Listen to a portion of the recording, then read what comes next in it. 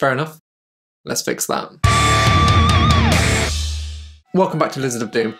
I am Max. Before we get into today's video, we have hit 10,000 subscribers, which I didn't think we'd hit till the end of the year, so the special for that will come out around then. But thank you so much to everyone here and everyone who's been with me from the start. Love you. And if you're not subscribed, maybe watch this video. If you liked it all, subscribe then. Or now, if you're impulsive like me. Today I'll be making female Gue'vesa. I will not be making just another strike team. I will be making Vespids. This is normally an alien race, part of the Tau, but this time I'm making human ones, as everything in my Tau army is human. Or human piloted. Does that make sense? So without further ado, let's get into it. Give my like button a little tickle before we go there. Oh yes, thank you! And let's go. To start the kit bash, I would be using Palanite Enforcers, but this time I'd be using the Riot Shield variant. This is so the armour matches the other ones, but the shield can account for the Vespid's extra toughness and count as their carapace skin really. The human heads would be from this Cities of Sigmar Free Guilds box. There are various unhelmeted female heads. I did look at Cadians, but there are too many helmets. I wanted these bare female heads to go on my Gue'vesa. There are lots of different options. These free cities new boxes are great for diversity and gender and different body types. Once I had built those Palanite Enforcers with the shields, there was a little bit of work to do. You can see this one here is the standard with shield. This big shield is a lovely round area for a nice Tau transfer but there is a couple of little changes you might notice with some of the other ones on the table behind it. For instance, this one has had his neck removed. These guys have massive Adam's apples and massive necks. This neck has been removed so I can fit the heads later on. And this one doesn't have a shield. We'll be coming back to this one in a minute. This one's going to be something special, not a Vespid, because there are only five in a Vespid squad. Now let's talk about the head fitting issue on these guys. I have never come across two less compatible kits to put the heads on. These massive necks with Adam's apples do not mesh well with the massive ball joints of the Free Cities kit. This was going to be quite a lot of work just to get these heads on here. The way I would do that is just to cut away with a scalpel at the neckline here. What I'm going to try and do is make it look like the collar on the Free Cities head is the collar of their suit underneath. This is going to be a challenge and hopefully I can pull it off. They've got the same kind of slit up the middle of their neckline, so it is possible, I think. Let me do a bit of work and we'll find out. I clipped away as much as I could easily, then scraped away with the scalpel. This was the only real way to get in there. I wish I had a little Dremel, that may be my next purchase, it would be very useful for kit bashing. Once I had attached the heads, this is what we're left with. The Tau helmets on the right there are just onto the necks. The necks weren't really a problem for them as seen in the last video, but the female heads, I think I've got away with it. I think it's going to look like the jumpsuit is connected. They'll all be in the paint job though. I was concerned that these heads may be a little small on the body.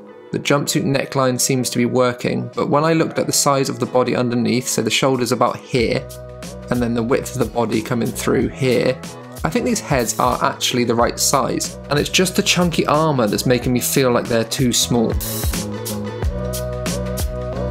Now you may be wondering how I'm going to make these into Vespids, because Vespids are, again, these winged creatures. Well, I have found a free file online, which I'll link down below. This is a free file for 3D printing, obviously. I have sent it to my friend to 3D print for me because I don't have a printer. And we have a little bit of an issue. These little files printed a little bit wrong. They're going to have to do for today but as you can see, there are little chunks out of the bottom left fin here, and there are also chunks out of the bottom of the other one. This is to do with where the connection points were. They will be reprinted for the final painting video, but just to give you an idea of what those things will look like for that video, I'm going to press ahead with these because I haven't got the time to get them reprinted for now. These guys have a slight difference in their backpacks. Can you see? The one on the right has been shaved flat at the top there. This is to give me a nice little contact point where I can put these resin jetpacks on a little dab of super glue, one resin jetpack thingamajig, jig, very Tau looking. Just got to position it right, making sure it's the right angle for the shoulders is how I positioned them because the heads can be tilted to the side. And here we have some kind of dragonfly jetpack looking human Gue'vesa. This will be a lovely Kansas for my Vespids in this team. I was excited to get some Vespids because I like that they can go back into Deep Strike after they've come out of it. Now we just have to deal with the arm and the weapons. I like the idea that Tau Tech is actually incredibly light and humans can wield it with less of an issue than Tau. So whereas Tau normally have two hands on a gun and have to shoulder them, the humans could probably fire from the hip because it's all like lightweight plasticky gear that they can just throw around with their human bulk compared to the smaller Tau frames of their race. So I took some guns from the Pathfinder team that I used to make my other human Taus and used the kind of shorter, stockier guns rather than the rifles for the Vespids because I thought they were more fitting. And look at that. Perfect. Just needed a slight little bit of scraping on the shoulder so it fitted under that shoulder pad, but this slotted in perfectly. Just a little dot of plastic glue to hold that together and we will be all there. But there's something I've got to deal with first before I glue this in. Now, the shoulder pads. These are indeed meant to go on the other side, on this side, but the shield there is going to cause an issue. So I'm just going to move them to the other side. I know they're on the wrong side. Do I care? Not really. They fit less well over these shoulder pads than they did over the other Palanite Enforcer shoulder pads, so these would need a little trim. Just a slight scrapage each side with the scalpel to take the corners off and then it would fit nice and snugly over the top with the dome shape of the underside of the Tau pad. Don't worry, this blade is relatively blunt. I'm not jabbing a fresh scalpel into my thumb. I always cut myself when I put a new blade on. That's why I prefer to use a slightly blunted one. It's better for scraping and it's better for my own safety.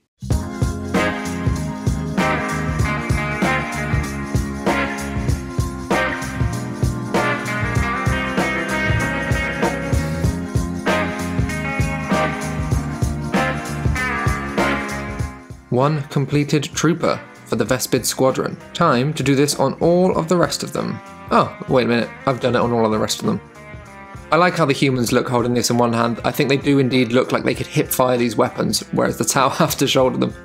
The human heads have worked well, and it's just going to be a matter of painting the collars to match the underneath jumpsuit. And they're going to be black, so that is going to be quite easy to do, hopefully. So it'll be nice to hide that line in between the neck and the body. They need an extra finger though. When I put an extra finger on the last batch of Gue'vesa, loads of people in the comments said you could have just said they were wearing a glove where they put two fingers in one hole, or they could have cut their fingers off as an initiation ritual to join the Tau. But imagine if I'd have said that, how many people would have said, um, you left it with three fingers actually, and um, yes, it's not correct. So I'm not really doing this for anyone. I'm not doing this for either way. I want them to have four fingers. You should always build your models how you want to. And for all the unmatchlies that corrected me and went, Um, actually, humans have five. You know what I mean, mate. I'm not counting the thumb. I know a thumb is a finger. God damn it, just be nice in the comments. Once I had put that on, it was time to move on. Everyone in this squad either got a pinky finger or an index finger, depending on how they were holding their gun, whichever looked right at the time. The pinky finger was usually by far the easiest to do. Just a little dob of green stuff just to widen the palm and put a little sausage wrapped around the handle of the gun. Now let's talk about that extra model that I sidelined earlier. This is going to be the HQ of my army. It's going to be a Cadre Fireblade. Now, because this is a female Tau video, guess what? She's going to be female. Proving that in the 41st millennia, it's not just all big buff blokes running around, there are strong independent women, just like your mum.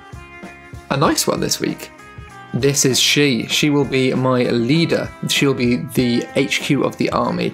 The head is already in place. This was my favourite head out of the female heads in that box. And it's time to give her some arms. I've looked up the HQ's gear, so let's put on what she needs. First of all, she needs a melee weapon. This was taken from the other Palanite Enforcers box. The lieutenant in there has this little power mace thing, which I really like. It's like a stun baton. This fitted on easily, obviously, because it's a Palanite kit. They all kind of go together. The other arm was going to be a little bit more difficult. I chose a pistol because she needs a pistol and a rifle from the Tau set. So this Tau pistol arm which kind of fitted under there. It did need a little trim. I did take a little bit off with the scalpel. In the end, I did aim it more down towards the side like she was carrying it by her hip, and did fill a little bit under her armpit with green stuff, just to make it look better, because you could see the gap. One of the challenges I would face would be putting the gun on this model, the rifle. There is one rifle in the Tau box which is not attached to anything, it's just a bare rifle, no hands, no straps, nothing. So that would be my best option for putting the rifle on here. But first, I'll do the shoulder pad. Now this is going on the correct side rather than the Vespids having it on the other side because this Cadre Fireblade will be going with my strike team which is the blokes I made in the last video. So I wanted her to kind of match and line up with them. This is a different shoulder pad from that box, but this will denote her apart from the squad. She is the leader of this army. She is their general. Once that was on, she's looking quite good. The gun was going to slot here, in between the shoulder pad and the backpack piece of the Palanite armour. A little bit of glue in here and some rough positioning just to get it in a place I was happy with. Then I would do something a little bit different with it. This doesn't look like it's attached, so it needs a strap to hold it on. The strap is going to have to go over her shoulder and under her arm. I did this by simply cutting out a long rectangular piece of green stuff and attaching it to the top of the rifle around there, hiding it under her arm, and then you don't really see it coming out the back. But this looks fine. This is going to look like a leather strap where this gun is held on to her shoulder. And with that, our Cadre Fireblade is complete. What do you think? Do you like my human Tau conversions? Is this something that you would think about doing in the future? Let me know in the comments. Now we go into the final reveals and a little bit of lizard lore. And as this has been a female centric video, it was only right that I reached out to someone like my friend Eve, who was willing to record the lizard lore for me this week. So thank you, Eve, and here is that.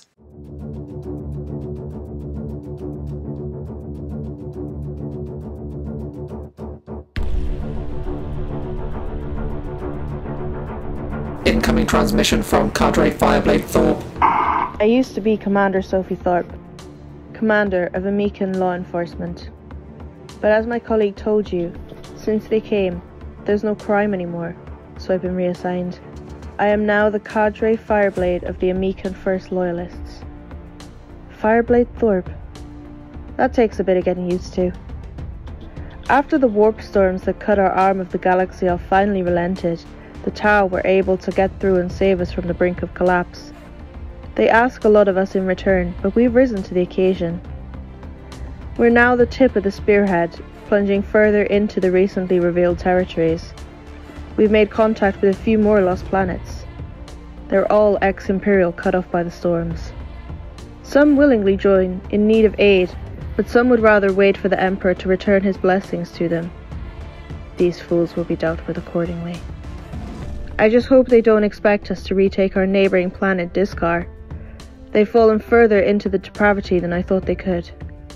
No scouting party has ever returned from there. End of transmission. So, thank you to my lovely Patreons who you saw over those reveals. If you would like to join and help support this kit bashing, I mean, there was three kits that went into that. It ain't cheap, so the link will be up here now. Shablam, and you can join and help from as little as £3. You can help support me in this channel and show me that this is a worthwhile thing that people enjoy. So if you don't want to do that, you can also subscribe for free. Obviously, it's YouTube, you know how it works. Leave a little comment for the algorithm. That's been going fantastically. So far, we've been commenting as a community algorithm, just the word algorithm. How about this week we comment the word schmeepfels? Uh, you tell me how you think that's spelt in the comments. Why are you frowning behind the camera? Weird. I know it's weird. That's the point. That's the point. That is all from me this week. Remember, it is not a pile of shame, it's a pile of future fun. See you next time, kids. And thank you for 10k subs. Love you.